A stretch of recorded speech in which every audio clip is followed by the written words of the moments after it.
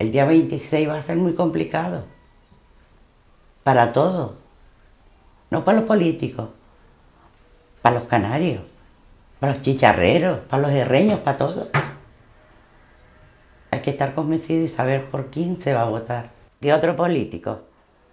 Un partido socialista, un PP, un Podemos, va a ir contra su propio gobierno. No, yo quiero una representación mía de Canarias. Prioridades.